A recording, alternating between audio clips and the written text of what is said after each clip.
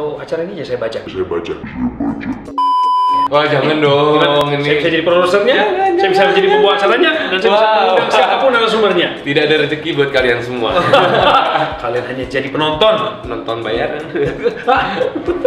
yang yang keenam nih kita. Penonton bayaran dong. Oh iya. Indo 5 Bercerita Berbagai macam cerita Dari sudut pandang yang berbeda Sebelum menonton lebih lanjut, subscribe dulu channel ini Dan jangan lupa nyalakan loncengnya Halo, saya Aditya dari Indo 5. Saya sekarang lagi bersama Coki Sitohang, MC yang sangat terkenal. Amin. Sangat senior ya? Thank you Mas. Senior banget. Legenda yang Eh, kayak udah legenda ya. Biasanya kalau udah legenda itu sudah menyisakan nafas-nafas terakhir. Oh, jangan dong. Jangan sampai kan? Seperti ibu saya senang juga masuk ini. Maksudnya itu masih perjuangan dulu. Oke. Eh, sedikit aja pertanyaannya. Iya. Pertama, masuk itu eh, mulai karir itu umur berapa sih? Dulu saya mulai kegiatan public speaking itu usia sekitar 17 tahun. 17 tahun. Dan itu di dunia radio di Bandung. Jadi saya memulai karir sebagai penyiar radio, umur saya masih 17-an jalan waktu itu. Dan setelah itu saya konsisten terus di public speaking, jadi penyiar radio, jadi wartawan, jadi pembawa acara. di umur 17 tahun udah itu semua. usia 17 betul. Sambil belajar atau emang ah mau kerja aja gitu? Sebenarnya secara pendidikan formal saya nggak ada belajar kursus MC itu nggak ada. Ada. Jadi latihannya benar-benar di radio. Oh, di Waktu itu kan penyiar radio itu benar-benar dilatih. Jadi tiga bulan menjadi penyiar masa pelatihan atau training, kemudian kita naik siaran, boleh pakai nama asli ketika itu. Lalu tiga tahun saya siaran. Nah di situlah proses belajar saya menjadi pembawa acara. Oh gitu, keren banget di usia 17 tahun udah bisa di- oh, belajar di radio, oh, itu dan sudah ke mana-mana gitu ya. Amin. Pertanyaan kedua nih, bagaimana sih cara Coki Sitohang bisa fokus ketika menjadi MC formal? Soalnya nih kalau misalnya aku di depan panggung kayak agak gugup, terus kayak, duh bingung mau ngomong apa, sudah kan ketemu banyak orang gitu kan. Ya sebenarnya saya nggak hanya di acara formal, Iya. di acara yang santai, acara musik, variety show, acara bincang-bincang seperti ini pun saya membawakan acara di jenis-jenis seperti itu. Tapi kenapa selalu orang identik saya dengan acara formal gitu ya? Karena memang saya punya karakter yang saya sudah bentuk sejak lama.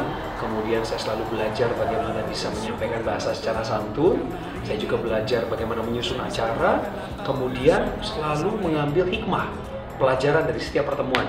Misalnya hari ini ada acara dengan presiden. Bukan hanya hari ini saya ketemu dengan presiden, tapi dari era presiden ke-5, presiden ke-6, dan sekarang Pak Jokowi, saya selalu menangkap apa yang baru. Gaya karakteristik acara yang berbeda, pemimpin yang berbeda. Sehingga itu yang membawa saya juga menuju kepada identitas saya sebagai MC di acara formal. Jadi fokusnya itu latihan, latihan, latihan. Betul, gitu. betul latihan. Harus saya latihan, latihan, saya nggak latihan. percaya pada maksudnya gini. Saya percaya saya punya bakat, tapi saya tidak menaruh harapan saya pada bakat. Saya menaruh harapan saya pada latihan saya. Latihannya, Karena kalau kita ya. latihan, kita bakal punya kemajuan. Kalau nggak ada kemajuan, berarti latihannya salah. Hmm, bener banget tuh. Tuh beneran belajar. Nah, pertanyaan yang nomor tiga apa sih sebenarnya Mas Coki nih? Sebelum jadi MC sama main film, apa sih cita-citanya? Sebenarnya cita-cita saya dari kecil jadi tentara. Tara, oh sama kayak saya. Iya. saya tuh pengen banget mengabdi pada negara di bidang militer karena kakek saya seorang tentara.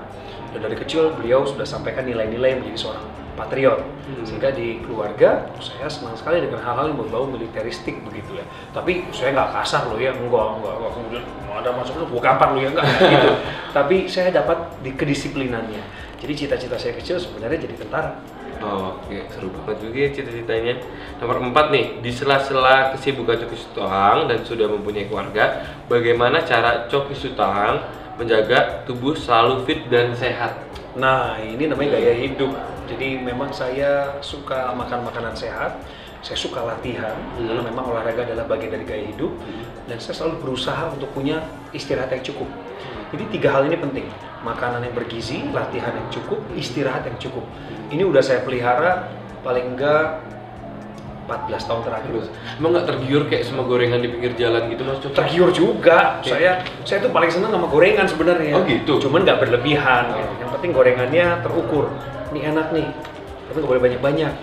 Begitu udah makan kita jangan lupa untuk berhenti. Oke. Dan yang kedua, biasakan selalu punya gaya hidup sehat tadi. Hmm. Bayangin nggak makan gorengan banyak, terus istirahat kurang, minum air putih enggak, Hmm. terus latihan enggak, kan jadi apa kan gitu? Jadi seperti saya nih.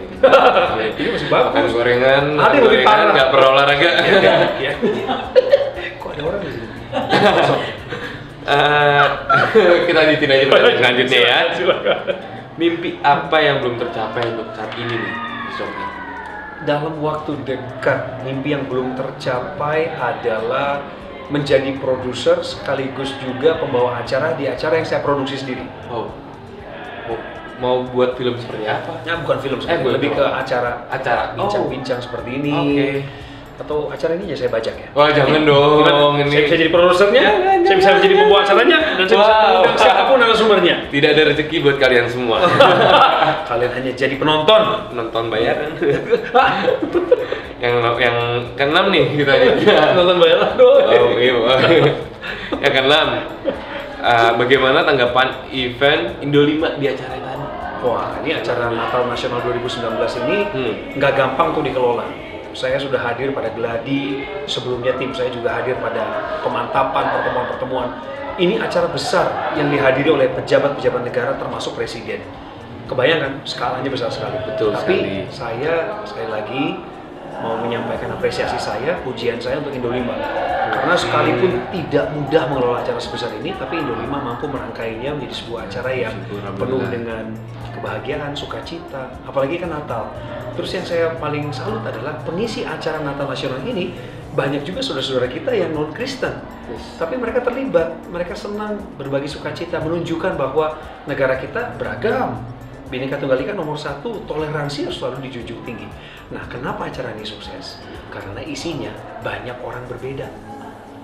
Jadi saya salut sama Indo 5. Keren acara. Oke, terima kasih banget nih Mas Yoki. Sama Mas Adit. Aku minta satu kata untuk Indo 5. Indo 5 ya. Hmm. Satu kata nih. Ya satu kata. Ah, aja. aduh, susah Oh berapa Mas Yoki? mikirnya, Sebentar. Sebentar ya, satu kata untuk Indo 5. Hmm. Kompak. Kompak. Wah, makasih banget Mas Yoki. Mas Yoki. Indo 5 bercerita.